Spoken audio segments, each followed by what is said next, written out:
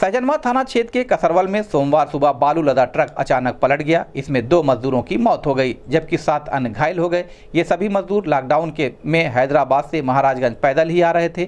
कानपुर से इस ट्रक में सवार हो गए थे। मुख्यमंत्री योगी आदित्यनाथ ने दुर्घटना पर दुख जताते हुए मृतकों के आश्रितों को दो दो लाख और घायलों को पचास पचास हज़ार रुपये आर्थिक सहायता का ऐलान किया है।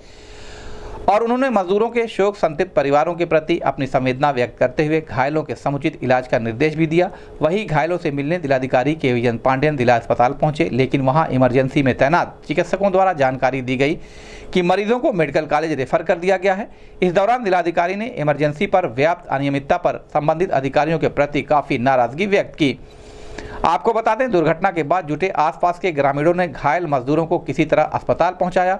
सामुदायिक स्वास्थ्य केंद्र सहजनवा के डॉक्टरों ने हालत गंभीर होने के चलते घायल मजदूरों को जिला अस्पताल रेफर कर दिया। वहीं घायलों की स्थिति नाजुक देखते हुए मेडिकल कॉलेज रेफर कर दिया गया। आपको बता दें, ट्रक हमीरपुर से मोरंग बालू लाद कर गोरखपुर की तरफ़ जा रहा था। कानपुर में इस ट्रक पर हैदराबाद से महाराजगंज जा रहे कुछ मजदूर सवार हो गए। सोमवार सुबह ट्रक सहजनवा क्षेत्र के कसरवल के पास पहुँचा ही था कि अचानक बेकाबू होकर पलट गया।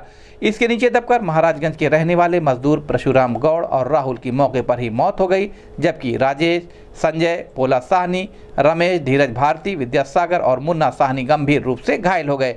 ट्रक पलटने की आवाज़ और मजदूरों की चीख पुकार सुनकर आसपास के ग्रामीण दौड़कर वहाँ पहुँचे।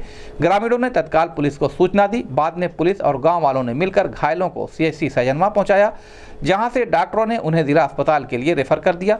इस संबंध में गोरखपुर न्यूज़ से बात करते हुए प्रमुख चिकित्सा अधीक्षक डॉक्टर एस के श्रीवास्तव ने कहा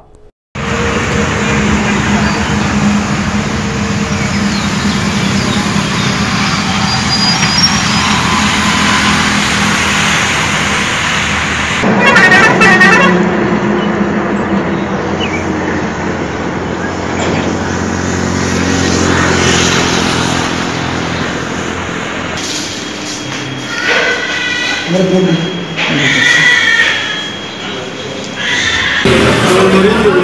आदमी साथ एक आदमी फालतू लोगों को बहाते रहे है ना अंदर बाहर ही रहे केवल मरीज़ से लेके अनावश्यक कहाँ? नहीं तो हम लोग भी भर्ती करेंगे कोविड वार्ड पे एक आदमी बस तमाशा देखने के लिए आए क्या और इनके अलावा और मिलेगा ना यहाँ देख किसी को लगा तो मरीज़ के अलावा कोई अंदर नहीं जाएँगे है ना ये क्या तो यार तमाशा है इतने भीड़ वाले से क्या सब मरेंगे क्या अभी आए नहीं है कहाँ वेट करिए क्या ऐसा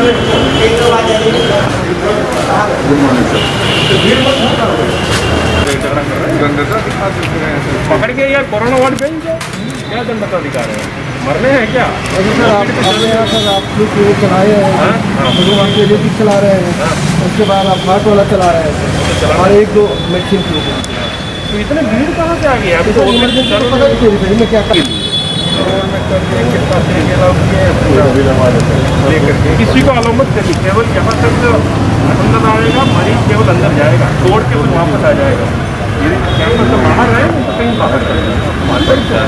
पुलिस ऐसा पुलिस वालों का काम नहीं पुलिस इतना पुलिस लगाएँगे दो गाँव लगवाते हैं गार्ड मिले हैं ना आपको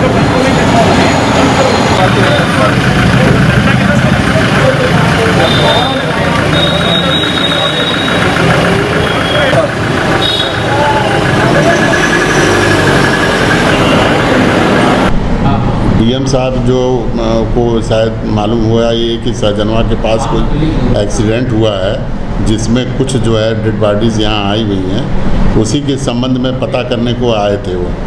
तो यहाँ पर आने के बाद ये मालूम हुआ कि वो लोग जो हैं, जो एक्सीडेंट वाले थे, वो लोग आए नहीं थे कोई। या जनो यहाँ पर हमारे यहाँ कोई भर्ती हुए हैं। वहाँ तो वहीं पर देख करके फिर वहाँ से उन्होंने ये कहा कि मरीजों के बीच में जो है सोशल डिस्टेंसिंग मेंटेन कराया जाए, जिससे कि भीड़ न लगने पाए और ज़्यादा से ज़्यादा दूरी बना करके रखी जाए, जिससे कि कोई फल संक्रमण फैलने न पाए यही दिशा निर्देश उन्होंने दिया और कहा कि आप लोग ओपीडी जो भी चल रही हैं, उसमें हर में सोशल डिस्टेंसिंग मेंटेन रखा जाए।